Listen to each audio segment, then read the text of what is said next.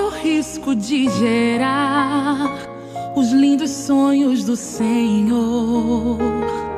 Quem luta em meio à perda, quem sorri por mais difícil que esteja, está se preparando para uma grande colheita.